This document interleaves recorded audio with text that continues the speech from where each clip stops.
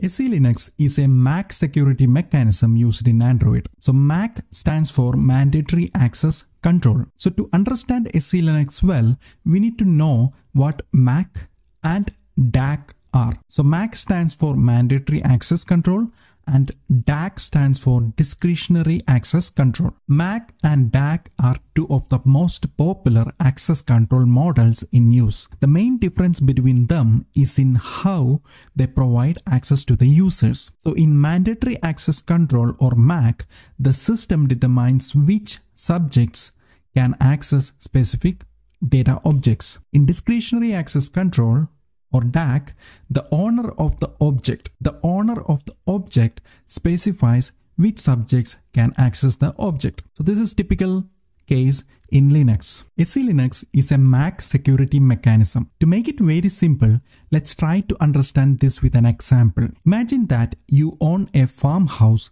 and you have cows, rabbits and chickens. Each animal in the farmhouse should eat specific food. None of these animals or birds should not eat each other's food. Let's imagine that you have a robot who will take care of this farmhouse. The robot will look after the animals and make sure that they eat the right food based on your instruction. So you have to instruct the robot with some rules. So you need to say cow should only eat grass, rabbit should only eat carrots, chicken should only eat chicken food. So when you write these rules in SE Linux, you will write something like this. Allow cows, grass, colon, food, eat. Allow rabbit, carrot, colon, food, eat. Allow chicken, grains, colon, food, eat. So this is a typical SE Linux policy rule. As we can see, a SE Linux policy rule comes in this form. The first one is the keyword which says allow. Second one is the source. So this is the type of the subject of the rule. So this is basically the subject. In our first example, the subject is cow, right? So this is basically who is requesting the access. And then comes the target, the type of the object. To what is the access requested. So in the first example, cow is requesting grass. So the cow is requesting access to the grass. And the third part is the class, the kind of object being accessed. So in our example, it is the food. And then the last one is the permissions. So in our example, the cow is requesting the permission to eat the food, right? So this is a typical SE policy rule. Okay, now let's look at the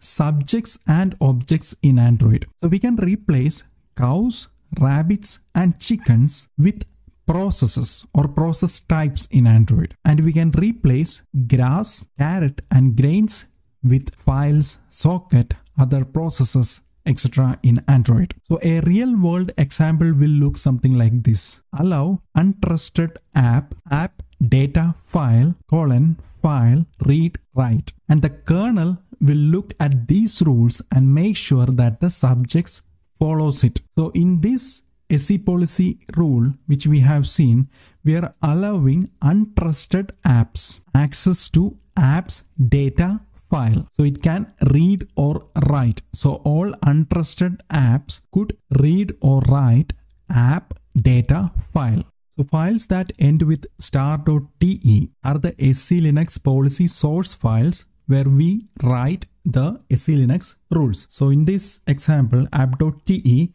we can find one rule. It says allow app domain, same process, HAL file, file class, read permission, and also execute not trans permission. Okay. So in this case, we are allowing the process which comes under the app domain access to this particular file, the read and execute not trans permissions. Similarly, you can find many other TE files. So file.te, here we are declaring some types. So we'll look at types in a later session. So here in HAL context hub.te, you can find many other rules. So all the rules will be basically under the files with star.te TE extension. There are many other files, other supporting files for these rules. So for example, genfs underscore context and file underscore context. These files basically defines the names or classes or domains of different resources within the system. We'll have a look at these in detail in the later tutorials. For now, just keep in mind that star.te files consist of all the SE Linux rules and you can find all the SE policies of a particular hardware or a board under this path. Under the device folder, you will get the manufacturer name like Amlogic, Google, Linaro, MediaTek. Okay. TI board. So if we take Linaro as an example, you come inside that, you can see different devices, the Dragon board, HiKey board, and under the board name or the device name, you can find a folder with the name SE policy. So here we have the SE policy here and under the SE policy, we'll have all the star.te files where we define the SE policies and its supporting files where we declare the domains, types, etc.